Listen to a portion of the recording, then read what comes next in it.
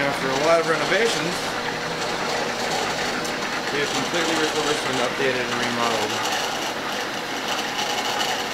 this fancy dough roller for Elephant Ear, the Rotary Club.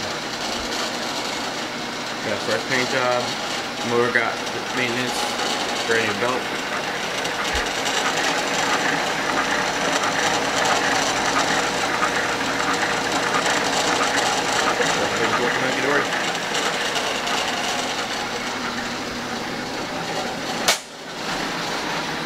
So go buy your elephant ears at the Rotary Club.